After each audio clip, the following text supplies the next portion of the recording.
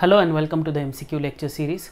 Since we are looking at some of the important multiple choice questions with respect to economics general paper for TYBA, in segue of the same in today's class as well, I will discuss some of the important multiple choice questions. So let's get started. The first question is which of the following does not denote external bottlenecks, does not denote external bottlenecks and the underlying options are A. Adverse balance of payment, B. Exports of primary goods, C fluctuating prices and demand and last is stable economy. Here i'm looking at external bottlenecks and does not denote external bottlenecks. The first three are actually external bottlenecks. The fourth is not talking about external bottleneck because it is talking about stable economy and therefore the correct option is option d. That means which of the following does not denote external bottleneck? Option d stable economy does not denote external bottleneck. The rest three are talking about the same. That means adverse bop exports of primary goods and fluctuating prices and demand. I hope the question is clear. Let us now move to the next one which is talking about the administrative constraints on development and the question is framed in this fashion. The administrative constraints on development are denoted by dash points. the administrative constraints. Let us look at the underlying options A. Corruption B. Rigid rules C. Poor efficiency of the system and D. All of the above. So constraints are you can use obstacles act as obstacles to the process of development. So here corruption is one constraint rigid rules are as well as poor efficiency of the system. These all hinder the economic growth and therefore all of the above is the correct answer. That means these are all administrative constraints on the process of economic development in an economy per se and these are corruption rigid rules and poor efficiency of the system. I hope this is clear. Let us now move to the next one. It is asking which of the following are not non-economic factors are not non-economic factors that means we are looking at the which of the following is an economic factor eh, in a way you have to look at and then eliminate the others so the first is not non-economic factor social values it is a non-economic factor political factors it is a non-economic factor. Administrative factors it is a non-economic factor. Capital accumulation is rather an economic factor and therefore not a non-economic factor. So this is not a non-economic factor. This is an economic factor and therefore option d capital accumulation is the correct answer to this particular question. I hope the question is pretty much clear. Let us now move to the next one. Political constraints on development explicitly asking us the next question is framed in this fashion. Which of the following is a political constraint on development? And the underlying options are a political instability b lack of skills c scarcity of capital and d none of the above. So here scarcity of capital is a is in a sense talking about the constraints on capital. Here lack of skills is talking about inappropriate technology per se Political instability is a political constraint on development and therefore option A political instability is the correct answer to this question. I hope the question is clear. Here we have seen the administrative constraints. The next question is talking about not an administrative constraint, a not sort of a question. The question is framed in this fashion.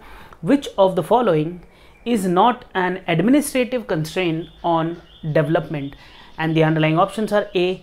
Ease of doing business B. Corruption C. Rigid rules D. Poor efficiency of system. Now we have seen all these three things are constraints on development. Ease of doing business rather is not a constraint. It is good for economic development.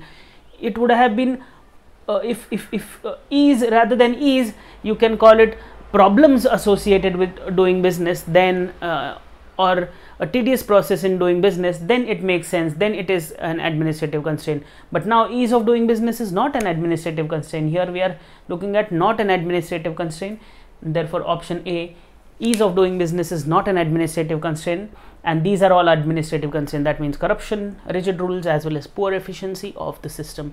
I hope the question is clear. Let us now move to the next one. The next one is again in relation to administrative constraints on development and the question is which of the following are administrative constraints on development? And the underlying options are a absence of developed legal rights b absence of property rights c corruption and d all of the above. So here administrative constraint is corruption. Okay so these are the other two are not administrative constraints and therefore option c corruption is the correct answer to this particular question. I hope the question is clear which of the following are administrative constraints on development and corruption is an administrative constraint on development. Let us now move to the next one. A very simple question. The general constraints on economic development are dash general constraints. No political social socio cultural technological nothing of that sort. Only general constraints on economic development. And the underlying options are a political instability b corruption c scarcity of capital and d all of the above. So here we can see that these all are in a sense constraints on economic development. That means there is a scarcity of capital corruption as well as political instability in some sense or the other acting as obstacles to the process of development and therefore option D all of the above is the correct answer. This is looking at the political this is looking at the administrative this is looking at the capital per se. Okay so here option D all of the above is the correct answer this can be also classified as economic constraint okay so anyways option D is the correct answer to this question. I hope the question is clear. Let us now move to the next one. S explicitly, I am asking socio-cultural constraints. And the question is framed in this fashion. The socio-cultural constraints on development are dash. Socio-cultural, A, religion, B, risk propensity or the propensity to take risks, C, innovation and D, all of the above. So here, socio-cultural constraints are given by all these three important points that is innovation, your ability or propensity to take risk as well as religion and therefore option D. All of the above is the correct answer to this question socio-cultural constraints on development. Let us now move to the next one. Again same sort of question but framed in different fashion. Which of the following are socio-cultural constraints on economic development. Okay similar sort of question. Let us look at the underlying uh, options. A social values.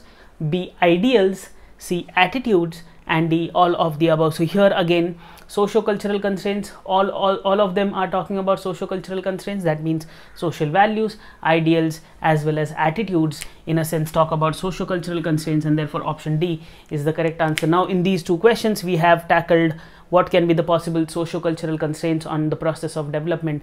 They are a religion b propensity to save c innovation again d social values E ideals and F is looking at attitudes per se. Okay so I hope these six points are pretty much clear.